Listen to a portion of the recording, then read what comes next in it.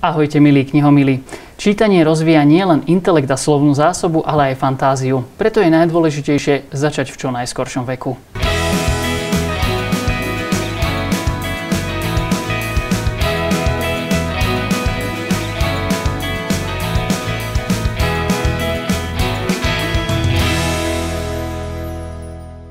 Na podporu čítania a spopularizovania literatúry prináša knižnica pre mládež mesta Košice projekt kráľ detských čitateľov. Moje pozvanie do štúdia dnes prijal zástupca knižnice Ján Šimko a tohtoročná víťazka Martinka.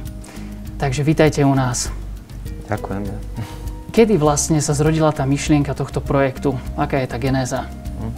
Musel som sa trošku pohrábať v archívoch, aby som sa dopatral k tomu, ako to bolo na začiatku. Ale bolo to v roku 1991 vtedy vznikla tá myšlienka usporiadať e, takéto podujatie kráľa detských čitateľov. A musím povedať, že na moje prekvapenie to bolo poňaté úplne veľkolepo s odborom kultúry a dokonca otváral to Paľo Hamel svojou hudbou. Čiže bolo, bola to taká revolučná eufória, by som povedal, kedy sa nastúpilo na nejaký nový trend propagovania literatúry. A pokiaľ som sa dobre dočítal, tak kolegovia z knižnice mali za cieľ nejakým spôsobom ozvláštniť to prostredie knižníc a zatraktívniť ho pre tých čitateľov, pretože aj v tej dobe dochádzalo k takej stagnácii a nezáujmu o literatúru a čítanie. A myslím si, že sa im to podarilo v peknej miere a teraz sme oslavili 30. výročie tohto podujatia. Takže to sú naozaj také okrúhle narodeniny. Uh-huh. Tohto ročné trošku poznamenané tou krízou, ale, ale sú okrúhle 30. Čím je z tvojho pohľadu táto súťaž jedinečná vlastne? Myslím si, že svojim konceptom. Aby sme boli spravodliví, tak táto súťaž prebieha v rôznych knižniciach na Slovensku a nemá nejaké centrálne riadenie a podmienky súťaže si každá knižnica vlastne určuje sama. U nás je to koncipované inak ako v iných knižniciach. My vychádzame z toho, že tí čitatelia nemajú byť, tí detskí čitatelia nemajú byť len akýmisi hltačmi kníh, ale majú si aj odniesť niečo z tých kníh, čiže ide tam aj o penzum informácií, o tom, o tom všeobecnom prehľade, ale zároveň sme zameraní aj na poznatky o našom meste. Čiže Prebieha to vo viacerých kolách a tam sa prejavujú, preverujú teda rôzne aspekty mm, toho, čo sa z kníh dozvedia tí mladí čitatelia. Ako si môžeme predstaviť vlastne priebeh tých jednotlivých kôl? Áno, ako som povedal, oni sú, tá súťaž je rozdelená do tých troch kôl. A prvá prebieha na školských pobočkách uh-huh. a, a mimoškolských pobočkách, čiže na našich 20 pracoviskách. Následne po vedomostnom kvíze postupujú e, semifinalisti do ďalšieho kola, do druhého kola, ktoré sa koná na niektorej z našich mimoškolských pracovísk. A z tohto, z tohto vyjde výber tých finalistov, mm-hmm. ktorí vlastne sú účastníkmi toho tretieho kola. Zvyčajne, teda ak je všetko v poriadku, tak za účasti verejnosti, prípadne spolužiakov, ako som spomínal, ide tam o vedomostné kvízy, v tom druhom kole o literárne zdatnosti, aj retorické zdatnosti, majú si pripraviť PowerPointovú prezentáciu, no. odprezentovať literatúru alebo to, čo čítajú. Prípadne ešte sme to mali niekedy koncipované aj úvahou, zamyslením, čiže aj takéto literárne zručnosti. No a nakoniec porota vyberie mm, v tom treťom kole toho, kto získa ten titul kráľ detských čitateľov alebo kráľovná, aby sme boli spravodliví. Samozrejme. Kto sa vlastne všetko môže zapojiť? A môže sa zapojiť každý, kto je žiakom 6. a 7. ročníka Aha. základnej školy alebo prípadne študentom 1. ročníka 8-ročných gymnázií. Uh-huh. A môže sa zapojiť prostredníctvom školských pobočiek, kde fungujú školy, ale aj mimoškolských, teda ak na škole, kde navštevuje, žiak tú školu a nemajú pobočku, tak vlastne môže navštíviť ktorékoľvek pracovisko a tam sa zapojiť vyplnením toho testu a postupuje. V prípade získania istého bodového hodnotenia a postupuje do druhého kola. Mm-hmm. máte aj nejak vyčíslené, že koľko detí sa zúčastnilo za tých 30 rokov? Ja som sa zamýšľal nad tým, koľko, ale keď tak spätne rátam, tak zhruba tých 600 e, finalistov, ano. A keď rátame dvoch, troch, štyroch, ale niekedy boli aj 8 finalisti, čiže záležalo to od e, toho ročníka, ktorý bol aký silný. A, ale e, s kolegyňou sme sa bavili, že to bolo na 10 tisíce detí. V podstate v tom prvom ročníku, keď som sa dobre dočítal, tak bolo okolo 6 tisíc detí zapojených. Čiže mm-hmm. za tie roky, ak to zrátame, naozaj ide o celé generácie. Okrem toho hlavného titulu kráľa alebo kráľovná detských čitateľov sa udeľuje vlastne aj taký druhý titul a to je kráľ alebo kráľovná sympatia, mm-hmm. sympatie.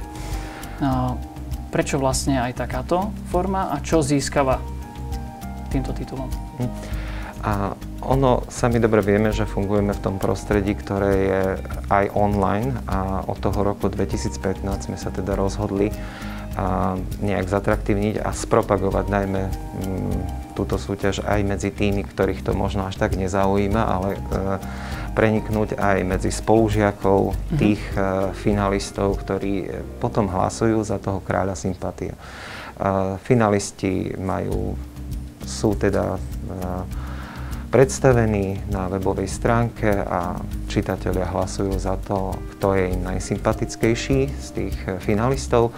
A tento potom získava, alebo tá získava titul Kráľ sympatia a on je v podstate nejaký, alebo nejaká vicekráľovna, čiže zástupkyňa alebo zástupca toho kráľa detských čitateľov. Mm-hmm. Čiže v prípade nemožnosti uh, účasti samotného kráľa na niektorých podujatiach zastupuje, uh, zastupuje jeho povinnosti, ktoré, ktoré kráľ detských čitateľov v normálnej dobe má. Aké sú vlastne podmienky na zapojenie sa do súťaže? Tie nie sú žiadne. V podstate mm-hmm. ide o to, aby e, ten e, žiak alebo to dieťa malo chuť zapojiť sa a skúsiť preveriť si vedomosti, ktoré má buď z literatúry alebo vedomosti o našom meste alebo celkovo, a, ale prioritou je samozrejme to čítanie ako také.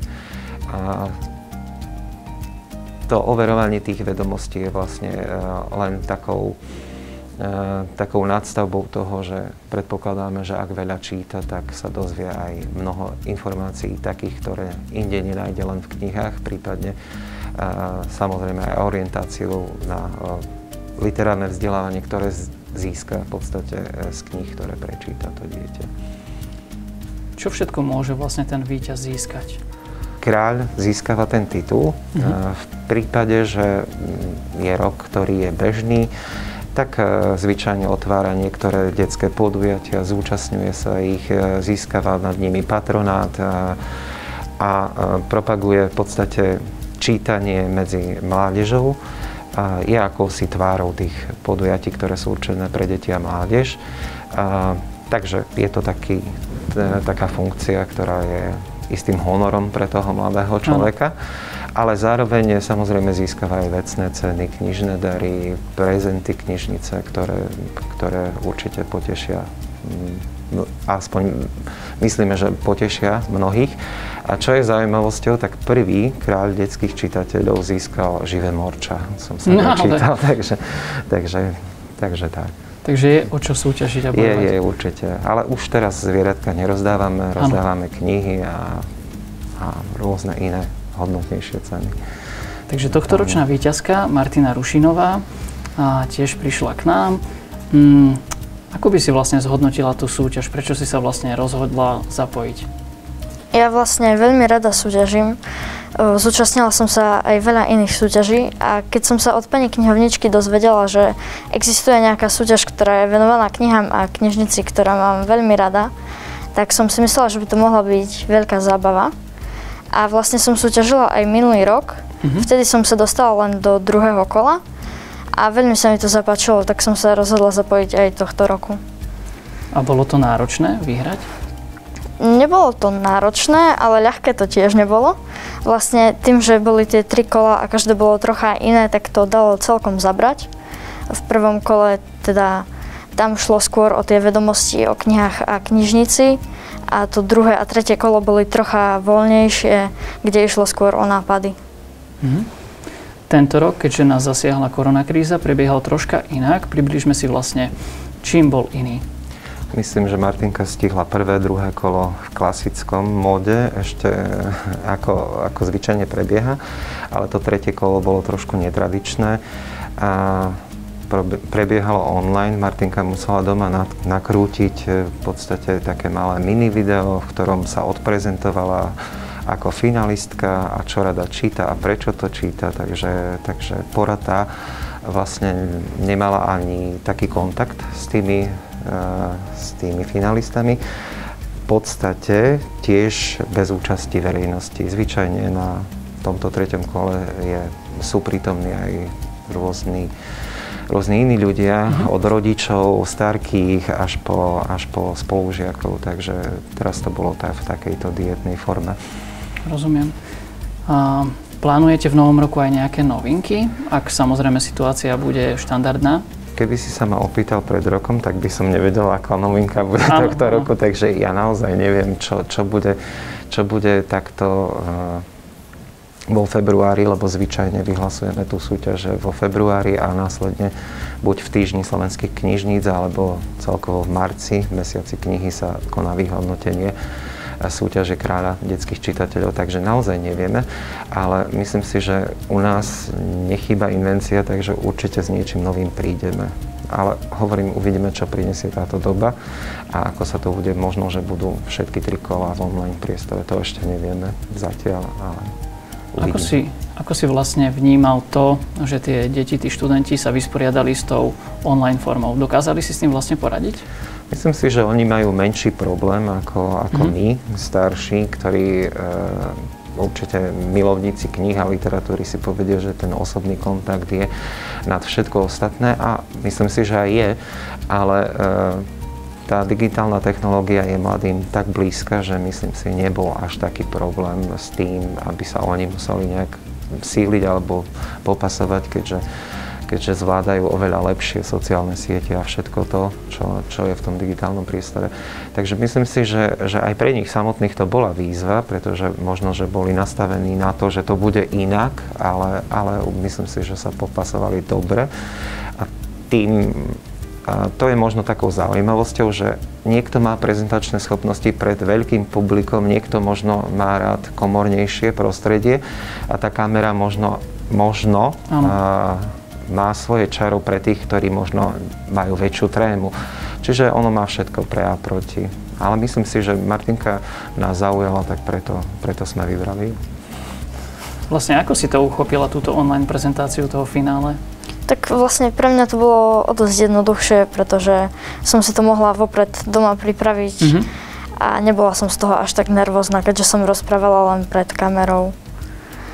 Vlastne keby som rozprávala pred viac ľuďmi, tak by som asi bola nervóznejšia. Dobrý deň, volám sa Martina Rušinová, mám 13 rokov a rada čítam knihy. Svoje najobľúbenejšie knihy a literárne postavy v mojom prevedení vám ukážem teraz. Poprvé, Milý denníček. Túto knižnú sériu som si obľúbila vďaka hlavnej postave Jamie Kellyovej a jej špecifickému humoru, ktorý ma dokázal rozosmiať už po pár prvých riadkoch čítania. Bolo náročné sa pripraviť na tie prvé kola, ktoré obsahovali vlastne tie vedomostné záležitosti? Je pravda, že ma na to pani knihovnička mierne pripravovala, ale nebolo to až tak náročné. Otázky boli zvládnutelné. Mhm. A v tom finále vlastne čo si odprezentovalo ako tú svoju obľúbenú literatúru? Tam som spomenula knihu Denny Majster sveta mm-hmm. od Roald Dahla, ktorý je jedným z mojich obľúbených autorov. O, tiež som spomenula príručku Ako prežiť, nejakú knihu receptov, o, denníky Adriana Mola a knihu zo série Milý denníček od Jima Bentona. Mm-hmm. Takže toto sú také tvoje najobľúbenejšie knižky aktuálne? Aktuálne je to skôr Harry Potter mm. a mhm. nejaké romány od Johna Greena, napríklad Papierové mesta alebo Nech sneží. Mm-hmm. A aká kniha ťa dokáže potešiť? Tak nejaká fantázia, nejaká, ktorá ma dokáže vtiahnuť do deja, chcem vedieť stále viac a viac. Teraz sa mi to deje pri čítaní Harryho Pottera. Mm-hmm. O, dávnejšie som čítala aj Percyho Jacksona, ale vtedy som sériu nedočítala, tak to ešte mám v pláne dočítať a tiež tie romány od Johna Greena. Myslíš si, že tvoji spolužiaci čítajú dosť? Tak ono je to u každého nejak inak. Niektorí čítajú dosť, niektorí čítajú menej a niektorí by mohli čítať viac, hlavne tí, čo nečítajú vôbec. A konkrétne v mojej triede je to skôr tak, že dievčatá čítajú viac a chlapci pomenej. Uh-huh. A čo čítajú napríklad chlapci? Máš taký prehľad? O, o tomto prehľad veľmi nemám, ale skôr denníky odvážneho bojka. Uh-huh. To je také populárne teraz. Áno. Janko, teba dokáže aká kniha natchnúť, potešiť? Čo ti urobí radosť? Ono je to, každý, kto ma pozná, vie, že ja som milovník magického realizmu a takýchto vecí, takže môjim najobľúbenejším a autorom, keď sa vraciam ku čomu si, tak je Marquez prirodzene. Takže ja mám vždy nejakú jeho knihu po, po ruke, ale v podstate ja v súčasnosti sa skôr zaujímam, zaoberám skôr populárno-naučnou literatúrou, čiže skôr takéto filozofické veci teraz ma zaujímajú, mm. takže nie je tá beletria ako taká. A, ale samozrejme dokážem si oddychnúť. Teraz som sa začítal tiež do niektorých kníh, ktoré sú odporúčané pre starších v rámci nášho výberu najlepších detských ano. kníh, takže e, niektoré recenzie ma tak nadchli, že ich mám doma a že sa do nich teraz pustím, že si ich prečítam. Takže, takže momentálne sa teším na to, že príde čas a že siahnem si práve po tých knihách, ktoré sú tam. Martinka, a tebe vlastne čo priniesla táto výhra v súťaži Kráľ detských čitateľov, ten titul kráľovnej? Fúha, uh, tak asi som sa stretla s viac novými ľuďmi, získala som nejaké skúsenosti a momentálne, keďže sa nedejú žiadne veľké akcie, tak asi takéto rozhovory mm-hmm. do rady, televízii a tak. Ja vám naozaj ďakujem veľmi pekne, že ste prišli a prijali moje pozvanie do štúdia. Želám vám, nech sa vám darí, tebe nech sa darí hlavne počas štúdia, nech máš naďalej takú chuť čítať a objavovať svet kníh. Ďakujem. Milí knihomilí, to je na dnes všetko. Verím, že sa vám relácia páčila. Ak je tomu tak, pokojne nás zdieľajte a lajkujte na sociálnych sieťach. Najnovšie si nás môžete vypočuť aj ako podcast na platforme Spotify. Dovidenia.